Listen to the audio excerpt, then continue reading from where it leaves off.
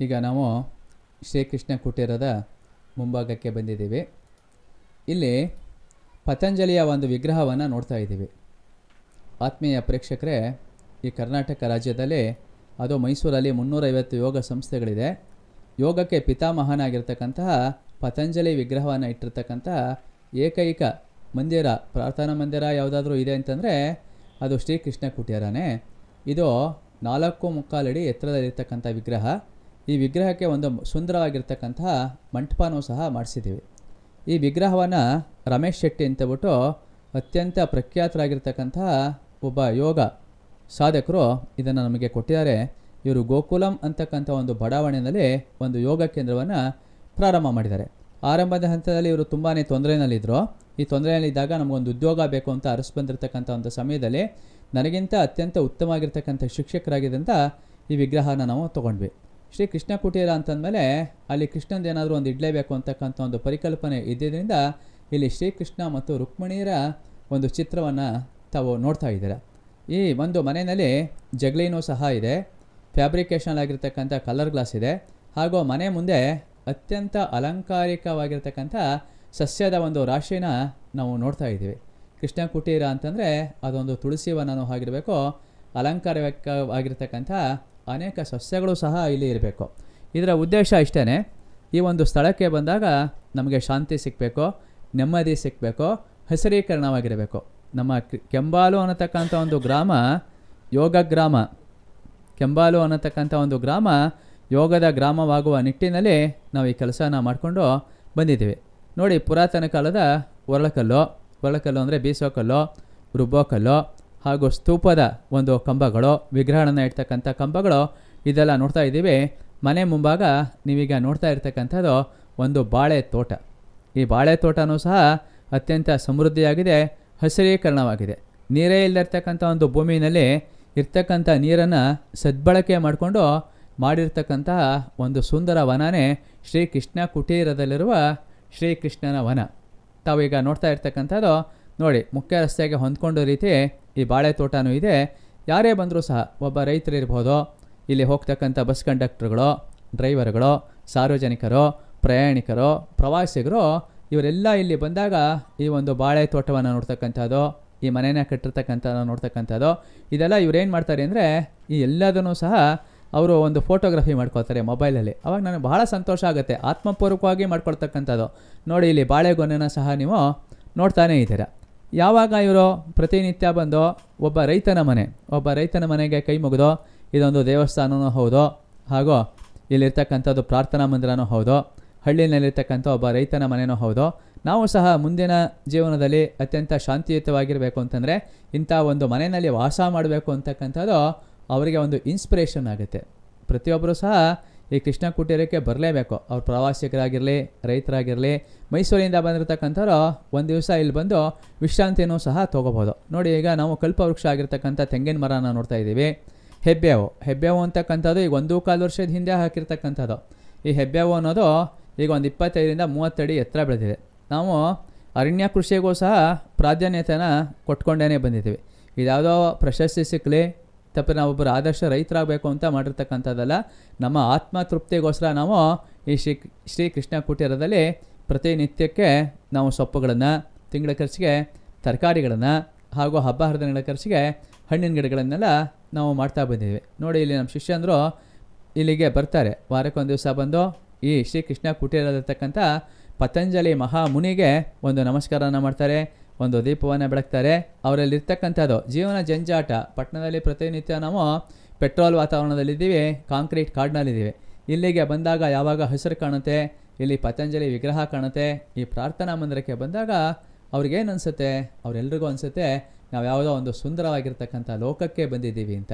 ಯಾವಾಗ ನಾವು ಕೃಷ್ಣ ಕುಟೀರಕ್ಕೆ ಬರ್ತೀವಿ, ಅಲ್ಲಿ ಬಂದು ಕೂತ್ಕೊಂಡಾಗ ಭೂಲೋಕದಲ್ಲಿ ಸ್ವರ್ಗ. ನೋಡಿ, ನಾವು ಮನೆಯಲ್ಲಿ ಕೂತ್ಕೊಂಡು ಟಿ ವಿ ನೋಡೋಲ್ಲ ಮೊಬೈಲ್ಗಳನ್ನು ನೋಡಲ್ಲ, ಹೇಗಾಗೋ ಜೀವನ ನಡೆಸ್ತಾ ಇರ್ತೀವಿ. ಆದರೆ ಕೃಷ್ಣ ಕುಟೀರಕ್ಕೆ ಬಂದಾಗ ಇಲ್ಲಿ ಸುಂದರವಾಗಿರ್ತಕ್ಕಂಥ ಯೋಗದ ಕೆಲಸಗಳು ನಡೆಯುತ್ತೆ. ಹಳ್ಳಿನಲ್ಲಿರ್ತಕ್ಕಂಥ ರೈತನ ಮನೆಯನ್ನು ನೋಡ್ತೀರಾ, ಇಲ್ಲಿರ್ತಕ್ಕಂಥ ಪತಂಜಲಿ ಮಹಾಮುನಿಯ ಒಂದು ವಿಗ್ರಹವನ್ನು ನೋಡ್ತೀರಾ, ಇಲ್ಲಿ ಬಂದಾಗ ತನ್ನಷ್ಟಕ್ಕೆ ತಾನೇ.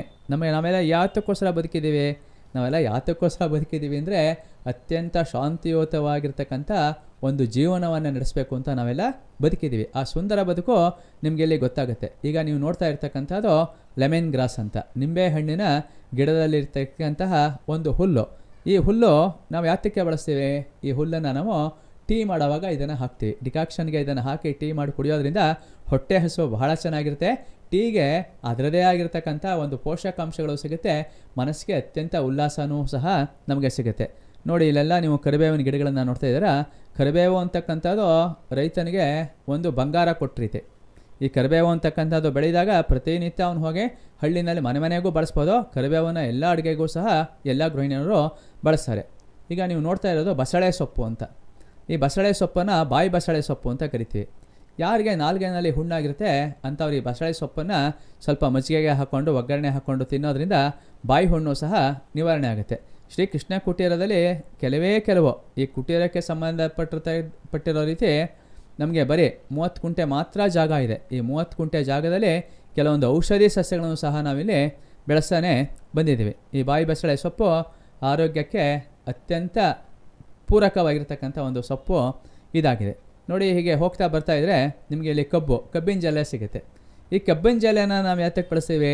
ಈ ಕಬ್ಬಿನ ಜಲೆನ ವರ್ಷಕ್ಕೊಂದ್ಸಲ ನಾವು ಮಾರ್ಕೆಟ್ಗೆ ಹೋಗಿ ನಾವು ಕಬ್ಬು ತೊಗೊಳ್ಳೋದೇ ಇಲ್ಲ. ಸಂಕ್ರಾಂತಿ ಹಬ್ಬ ದಿವಸ ನಮ್ಮ ಮನೆಗೆ, ನಮ್ಮ ರೈತರ ಮನೆಗೆ ಆಗುವಷ್ಟು ಕಬ್ಬು ಒಂದು ನಾಲ್ಕು ತೆಪ್ರ ಆರು ಸಿಕ್ಕೇ ಸಿಕ್ಕತ್ತೆ.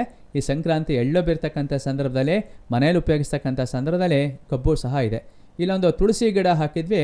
ಅದೊಂದು ಹೆ, ಬೃಹದಾಕಾರವಾಗಿ ಬೆಳೆದು ತುಳಸಿಯ ಒಂದು ವನವನ್ನು ನಾವಿಲ್ಲಿ ನೋಡ್ತಾ ಇದ್ವಿ ಇಲ್ಲಿ ಸುಮಾರು ಒಂದು ಇಪ್ಪತ್ತರಿಂದ ಇಪ್ಪತ್ತೈದು ತುಳಸಿ ಗಿಡಗಳಿದೆ. ಈ ತುಳಸಿ ಗಿಡ ಶ್ರೀಕೃಷ್ಣನಿಗೆ ಅತ್ಯಂತ ಪ್ರಿಯವಾಗಿರ್ತಕ್ಕಂಥ ಗಿಡ. ತುಳಸಿ ಗಿಡ ಮತ್ತು ಕಬ್ಬು ಇದೆರಡು ಅಕ್ಕಪಕ್ಕದಲ್ಲೇನೇ ಇದೆ.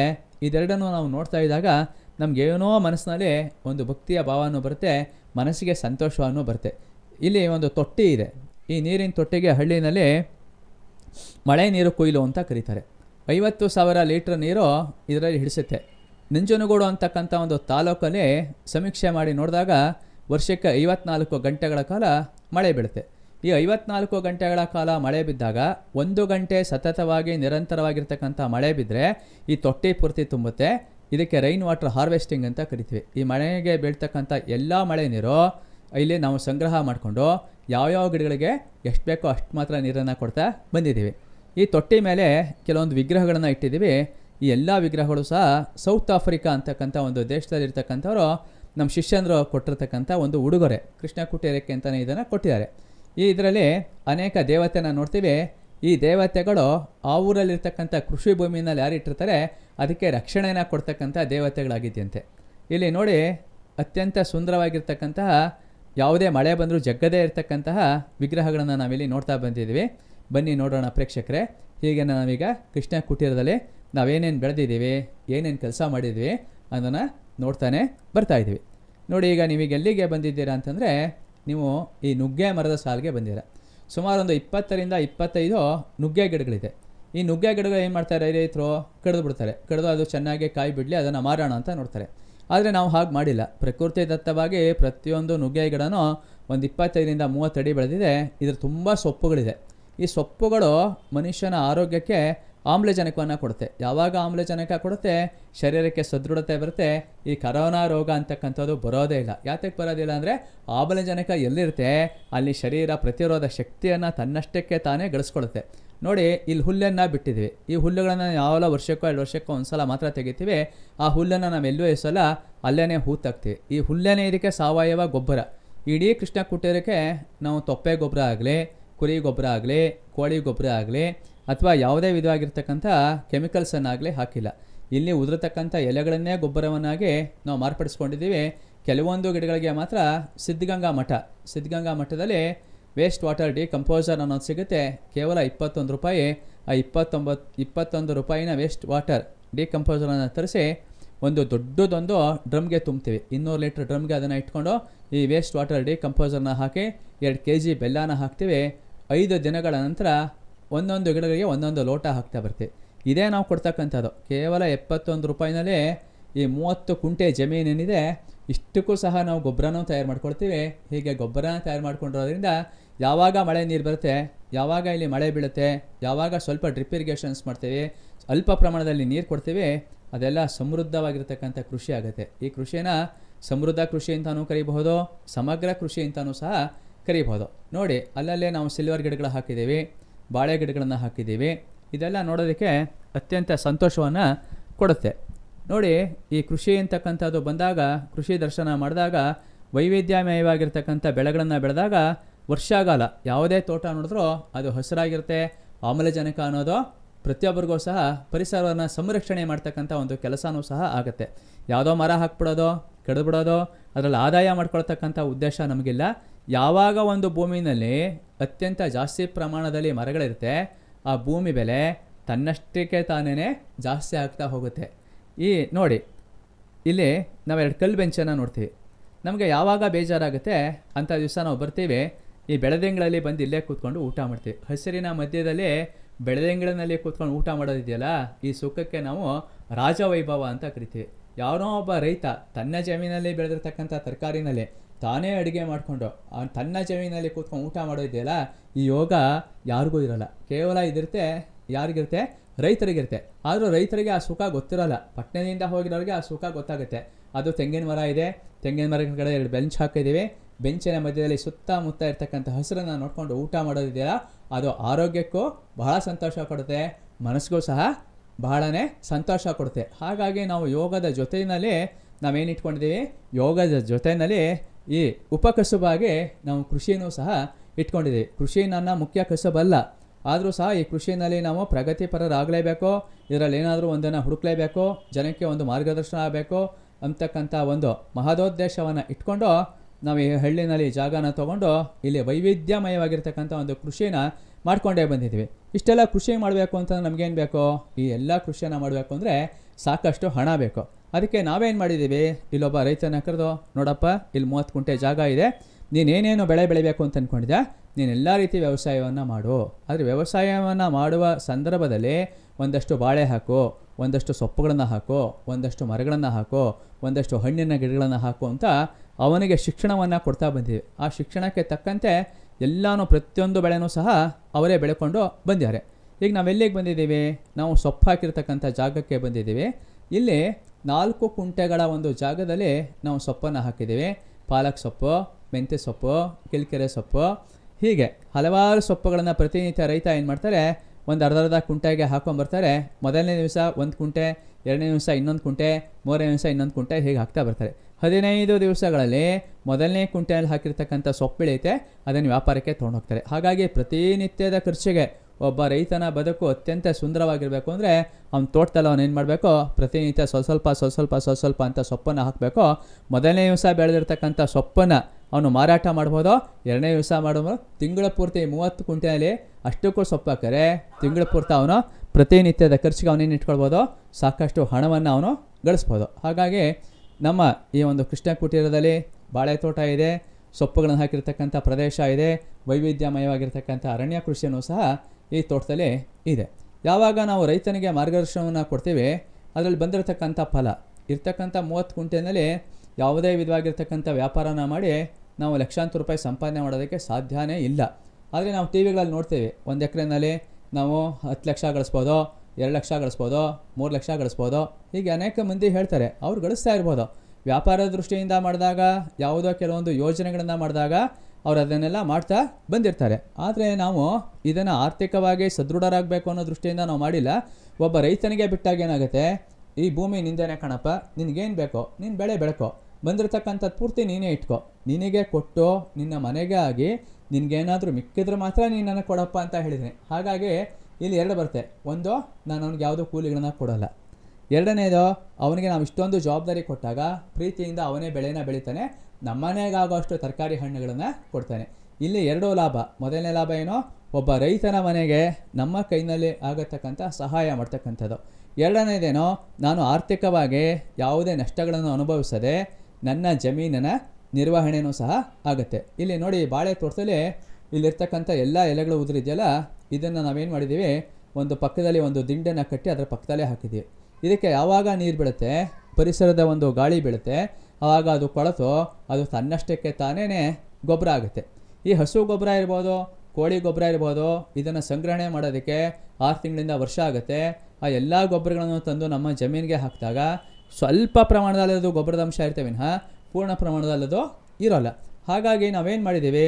ಈ ವೇಸ್ಟ್ ವಾಟರ್ ಡಿ ಕಂಪೋಸ್ ಅಂತಕ್ಕಂಥದ್ದು ಇಪ್ಪತ್ತೊಂಬ, ಇಪ್ಪತ್ತೊಂದು ರೂಪಾಯಿನ ಒಂದು ಏನೊಂದು ಡಬ್ಬಿ ಸಿದ್ಧಗಂಗಾ ಮಠದಲ್ಲಿ ಸಿಗುತ್ತೆ, ಅದನ್ನು ತಂದು ನಾವಿಲ್ಲಿ ಕೃಷಿನ ಮಾಡ್ತಾ ಇದ್ದೀವಿ. ನಮಗೆ ಅತ್ಯಂತ ಅಲ್ಪ ಖರ್ಚು. ಖರ್ಚಿರ್ತಕ್ಕಂಥದ್ದು ಅಲ್ಪ, ಆದಾಯ ಇರ್ತಕ್ಕಂಥದ್ದು ಅಲ್ಪ, ಆದರೆ ನಮ್ಮ ಮನಸ್ಸಿಗೆ ಮಾತ್ರ ಏನಿದೆ, ನಮ್ಮ ಮನಸ್ಸಿಗೆ ಸಂಪೂರ್ಣವಾಗಿರ್ತಕ್ಕಂಥ ಒಂದು ತೃಪ್ತಿ ದೊರಕಿದೆ. ನೋಡಿ ಇಲ್ಲಿ ಮೆಣಸಿನಕಾಯಿ ಗಿಡಗಳನ್ನು ನೋಡ್ತಾ ಇದ್ದೀರಾ? ಇದೊಂದು ಆರು ಕುಂಟೆಗೆ ಹಾಕಿದೆ. ಆರು ಕುಂಟೆನಲ್ಲಿ ನಾವು ಒಂದು ಮುನ್ನೂರಿಂದ ಮುನ್ನೂರೈವತ್ತು ಮೆಣಸಿನ ಕಾಯಿನ ಹಾಕಿದ್ದೀವಿ. ಈ ಮೆಣಸಿನಕಾಯಿಗೂ ಅಷ್ಟೇ ಪ್ರತಿನಿತ್ಯ ನಾವೇನು ನೀರು ಹಾಯಿಸ್ತಕ್ಕಂಥ ಅವಶ್ಯಕತೆ ಇಲ್ಲ. ಡ್ರಿಪ್ ಇರಿಗೇಷನ್ ಯಾವತ್ತೋ ವಾರಕ್ಕೆ ಒಂದು ದಿವಸ ಮಾಡ್ತೀವಿ. ಈ ಮೆಣಸಿನಕಾಯಿ ಗಿಡಗಳನ್ನು ಇವತ್ತಿನ ದಿವಸ ಹಾಕಿದ್ದೀವಿ. ಆದರೆ ನಾವು ಹತ್ತು ವರ್ಷ ಆದರೂ ನಾವು ಇದನ್ನೇ ಹಾಕೋದಕ್ಕೆ ಬರೋದಿಲ್ಲ.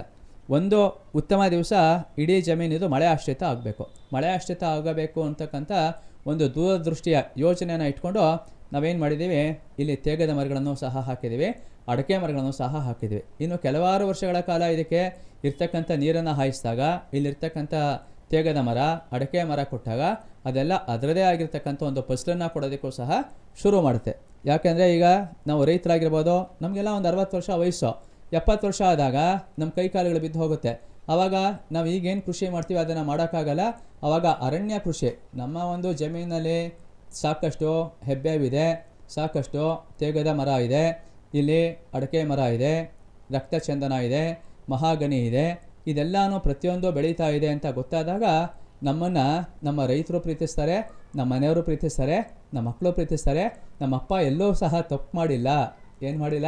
ತಪ್ಪನ್ನು ಮಾಡಿಲ್ಲ. ಪಟ್ಟಣದಿಂದ ಬಂದು ಇಲ್ಲಿ ಅನೇಕ ಮರಗಳನ್ನು ಹಾಕ್ತಾರೆ. ಎಲ್ಲ ಮರಗಳಿಂದ ಏನಾಗಿದೆ? ಭೂಮಿಯ ಬೆಲೆ ಜಾಸ್ತಿ ಆಗಿದೆ. ಭೂಮಿಯ ಬೆಲೆ ಯಾವಾಗ ಜಾಸ್ತಿ ಆಗುತ್ತೆ? ನಾವು ಹಾಕಿರ್ತಕ್ಕಂಥ ಬಂಡವಾಳ ಈ ಜಮೀನಿಗೆ ಹಾಕಿದ್ದೀವಲ್ಲ, ಅದು ಒಂದು ಪಟ್ಟಲ್ಲ, ಎರಡು ಪಟ್ಟಲ್ಲ, ಹಲವಾರು ಪಟ್ಟುಗಳ ಕಾಲ ಆರ್ಥಿಕವಾಗೂ ನಾವು ಸದೃಢರಾಗ್ತೀವಿ. ಈ ಸದೃಢರಾಗೋದ್ರ ಜೊತೆಯಲ್ಲಿ ಕೇವಲ ಈ ಮನೆಗೆ ಮಾತ್ರ ಅಲ್ಲ, ಈ ಮನೆಗೆ ಮಾತ್ರ ಅಲ್ಲ, ಈ ಜಮೀನಿಗೆ ಮಾತ್ರ ಅಲ್ಲ, ಇದು ದೇಶಕ್ಕೆ ಕೊಡ್ತಕ್ಕಂಥ ಒಂದು ಅತ್ಯದ್ಭುತವಾಗಿರ್ತಕ್ಕಂಥ ಕೊಡುಗೆ ಆಗಿದೆ ಪರಿಸರಕ್ಕೆ ಕೊಡ್ತಕ್ಕಂಥ ಒಂದು ಕೊಡುಗೆ ಕೊಡ್ತಕ್ಕಂಥ ಒಂದು ನಿಟ್ಟಲ್ಲಿ ಶ್ರೀ ಕೃಷ್ಣ ಕುಟೀರ ಅನ್ನತಕ್ಕಂಥ ಒಂದು ಕುಟೀರ ಏನಿದೆ, ಇದೊಂದು ಅತಿಥಿ ಗೃಹವನ್ನಾಗಿ ಮಾಡಿದ್ದೇನೆ. ಹರಿ ಓಂ, ನಿಮ್ಮೆಲ್ಲರಿಗೂ ಹೃದಯಪೂರ್ವಕ ಧನ್ಯವಾದಗಳು. ಆದಿತ್ಯ ಲೋಕೇಶ್ ಅವರ ಯೂಟ್ಯೂಬ್ ಚಾನಲ್ಗೆ ನೀವೆಲ್ಲ ಸಬ್ಸ್ಕ್ರೈಬ್ ಮಾಡಿ ಲೈಕ್ ಮಾಡಿ ಶೇರ್ ಮಾಡಿ. ಹೃದಯಪೂರ್ವಕ ಅಭಿನಂದನೆಗಳು.